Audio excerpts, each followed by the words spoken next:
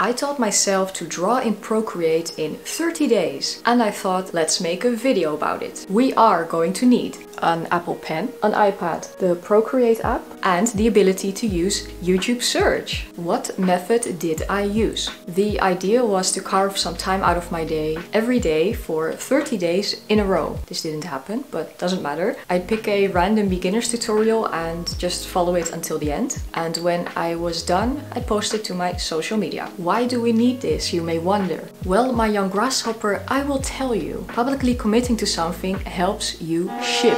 Has it ever happened that you promised yourself something only to opt out? By telling the world you will do so and so, you're pressuring yourself to follow through. So it's a really effective way to, to start and finish things. You might want to give it a try.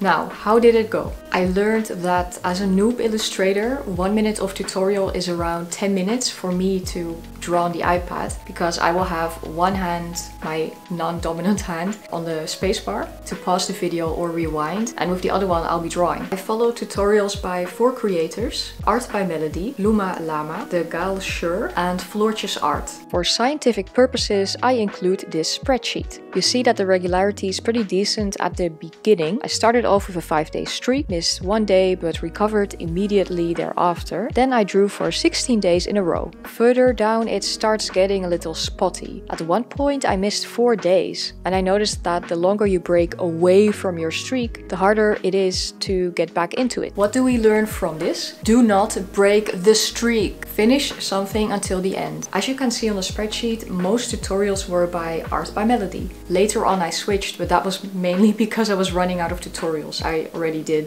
nearly all of the ones she has on her YouTube channel. Her tutorials were the first that I tried. Thanks to her work and I really got the basics of Procreate drawing down. Her tutorials are easiest to follow. She does not skip any steps and she doesn't assume that the viewer already knows what she's talking about. Which drawing do you like most? Let me know in the comments.